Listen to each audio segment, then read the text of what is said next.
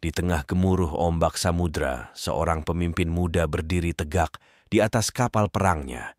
Dialah Dapunta Hyang, seorang panglima yang ditakdirkan untuk mengubah sejarah. Sang Maharaja berdiri tegak di depan 20 ribu prajuritnya, siap untuk Sidayatra, perjalanan suci yang akan menentukan nasib kerajaannya. Armada bergerak, membelah ombak, meninggalkan Minangatamuan menuju kejayaan. Dari Jambi hingga Palembang, dari Lampung Selatan hingga Pulau Bangka, tak ada yang mampu menghalangi ambisinya. Kerajaan Sriwijaya akhirnya berdiri, sebuah mahakarya yang lahir dari keberanian dan kebijaksanaan seorang raja.